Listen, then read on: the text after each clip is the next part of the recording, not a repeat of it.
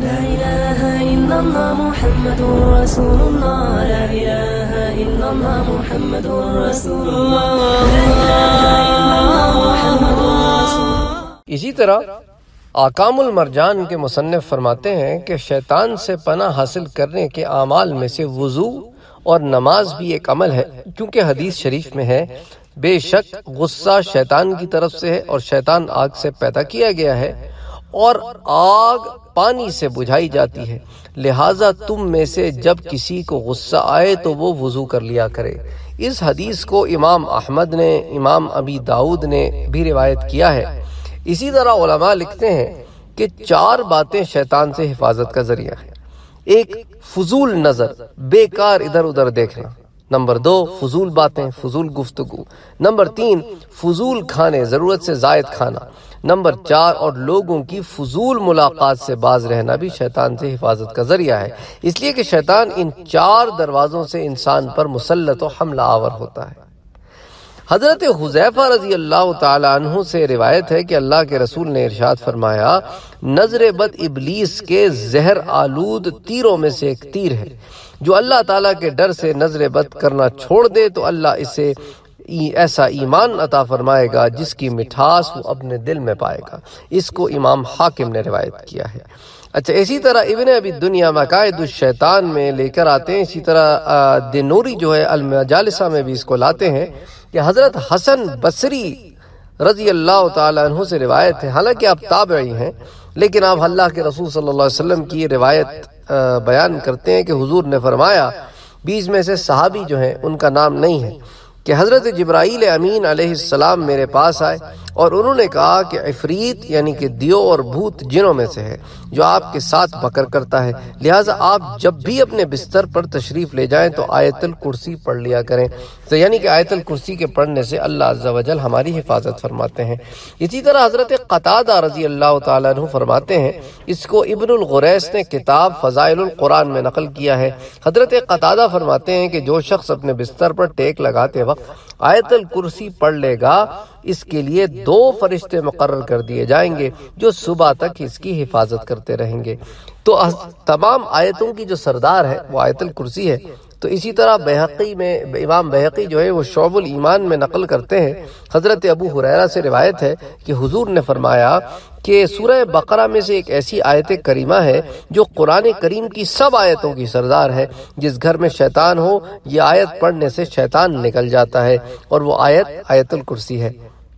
اسی طرح حضرت عبداللہ بن مسعود فرماتے ہیں کہ جو شخص رات میں سورہ بقرہ کی دس آیتیں پڑھ لے گا تو اس رات صبح تک اس گھر میں شیطان داخل نہ ہوگا۔ چار آیتیں سورہ بقرہ کی ابتدا کی اور پھر آیت الکرسی اور پھر دو آیتیں آیت الکرسی کے بعد کی اور تین آیتیں سورہ بقرہ کے آخر کی۔ اس روایت کو امام دارمی نے، امام ابن المنظر نے اور امام تبرانی نے نقل کیا ہے۔ اچھا آخری کی جو تین آیتیں نا، وہ للہ ما فی السماوات و ما فی الارض سے جو شروع ہوتی ہیں۔ اچھا حضرت عبداللہ بن مسعود فرماتے ہیں، ایک اور روایت ہے کہ جو شخص سورہ بقرہ کی ابتدائی چار آیتیں اور آیت الکرسی اور اس کے بعد کی دو آیتیں اور سورہ بقرہ کی آخری تین آیتیں پڑھے گا، تو اس دن نہ اس کے قریب شیطان آئے گا، نہ اس کے اہل خانہ کے پاس آئے گا اور نہ اس کے گھر والوں کو کوئی تکلیف دے چیز ظاہر ہوگی۔ نہ اس کے مال میں اور اگر انہی آیتوں کو کسی مجنون پر پڑھ کر دم کیا جائے، تو اس کو جنون سے افاقہ ہوگا۔ اس کو بھی امام دارمی نے نقل کیا ہے اور پھر ابن الغریس نے فضائل القرآن میں نقل کیا ہے۔ حضرت عمران بن حسین سے روایت ہے کہ اللہ کے رسول نے ارشاد فرمایا، جو شخص سورہ فاتحہ اور آیت الکرسی اپنے گھر میں پڑھے گا تو اس دن اس کو نہ تو کسی انسان کی نظر بد لگے گی اور نہ کسی جن کی۔ اس کو حضرت امام دیلمی رحمت اللہ علیہ نے نقل کیا ہے۔ اچھا مسند دیلمی میں۔ شیطان کے لیے سخت آیات کا بھی ذکر آتا ہے احادیث میں۔ اس کو بھی امام دیلمی نے مسند دیلمی میں نقل کیا ہے کہ حضرت انس سے روایت ہے کہ اللہ کے رسول نے ارشاد فرمایا کہ شریر جنات کے لیے زیادہ سخت آیات اور کوئی نہیں، تو شریر جن کے لیے سورہ بقرہ کی وہ دو آیات جو پڑھی جاتی ہیں، وہ یہ ہیں۔ وَإِلَاهُكُمْ إِلَاهٌ وَاحِدٌ لَا إِلَاهَ إِلَّا هُوَ الرَّحْمَنُ الرَّحِيمُ إِنَّ فِي خَلْقِ السَّمَاوَاتِ وَالْأَرْضِ وَاخْتِلَافِ اللَّيْلِ وَالنَّهَارِ وَالْفُلْكِ الَّتِي تَجْرِي فِي الْبَحْرِ والفلك التي تجري في البحر بما ينفع الناس وما أنزل الله من السماء وما أنزل الله من السماء من ماء فأحيا به الأرض بعد موتها وبث فيها من كل دابة وتصريف الرياح والسحاب المسخر. وتصريف الرياح والسحاب المسخر بين السماء والأرض لآيات لقوم يعقلون. اور تمہارا معبود ایک معبود ہے، اس کے سوا کوئی معبود نہیں۔ مگر وہی بڑی رحمت والا مہربان، بے شک آسمانوں اور زمین کی پیدائش اور رات و دن کا بدلنا اور وہ کشتی جو لوگوں کے لیے دریا میں چلتی ہے، اور وہ اللہ نے آسمان سے پانی اتار کر مردہ زمین کو اس سے زندگی دی۔ اور زمین میں ہر قسم کے جانور پھیلائے اور ہواؤں کی گردش اور وہ بادل اور زمین کے درمیان حکم کا باندھا ہے، ان سب میں عقل مندوں کے لیے ضرور نشانیاں ہیں، تو یہ جو دو آیت کریمہ ہے آیت شریفہ ہیں، تو ان کو پڑھنے کا بھی بڑا فائدہ ہے۔ اس ضمن میں امام ابی داود اور امام ترمزی یہ دونوں روایت کرتے ہیں کہ ان دو آیتوں میں اللہ تبارک و تعالی کا اسم اعظم ہے۔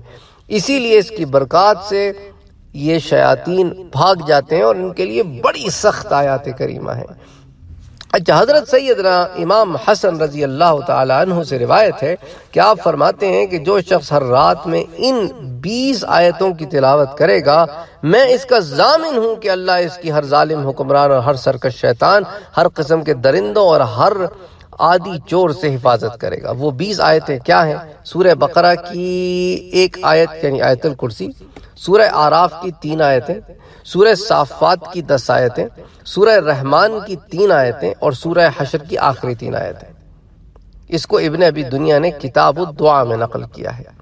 تو یہ چند احادیث مبارکہ ہیں۔ جن اور یا تمام یا چند اقوال ہیں صحابہ کرام تابعین کے، جو ہم نے آپ کے سامنے ضمن میں رکھے کہ اللہ عز و جل کی حفظ و امان میں آنے کے لیے قرآن اور حدیث میں کیا ہمارے لیے چیزیں موجود ہیں۔ اللہ عز و جل ہمیں ہر برائی سے محفوظ رکھے۔ وما علینا الا البلاغ۔